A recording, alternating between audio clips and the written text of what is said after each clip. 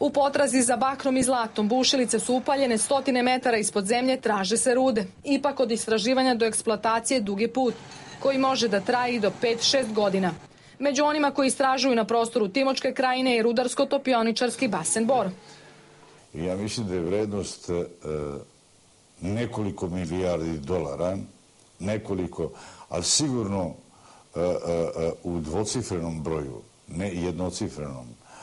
Ali, nažalost, ne može se brzo doći do novca jer istraživanje traje određeno vreme, pa onda projektovanje, eksploatacije i tek onda, tek onda ovaj, prodaja tih, tih proizvoda, bili, bili oni od metala, uglja ili, ili nemetala. Bogatstvo srpske zemlje moglo bi u narednim godinama prema procenama Resornog ministarstva rudarstva i prirodnih resursa da bude novi adut u borbi protiv nezaposlenosti i ekonomskom razvitku zemlje. Rezerve zlata su najveće u istočnoj Srbiji, litijuma, okolini Loznice, Kragujevca, Preljine. Što se tiče nikla, najviše ga okolini Aranđelovca, Topola i na Mokroj gori, dok se u blizini Aleksinca nalaze velike rezerve uljnih škriljaca. U ovoj oblasti godišnje se ubira milijarda i po evra, a procene govore da su mogućnosti mnogo veće i do 6 milijardi evra.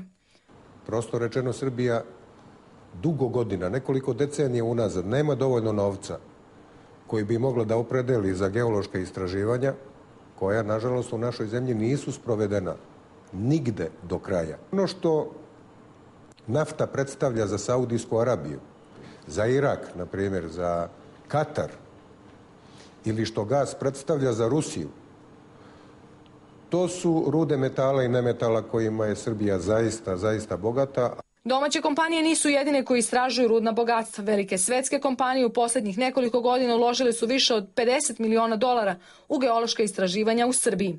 U vladi navode da su spremni za stratešku saradnju, ali da će zaštititi nekontrolisan izvoz rudnog bogatstva kao i nekontrolisanu eksploataciju. Ukoliko bi svi rezultati geoloških istraživanja koji, e, e, koji se sada sprovode, koji su sada na samom kraju, i u odbranjenim elaboratima o rezervama različitih ruda pretvorili u finalnu proizvodnju, onda bi Srbija samo od rudarstva mogla da zakrpi sve budžetske rupe koje ima i mogla da krene u vrlo intenzivan ekonomski razvoj.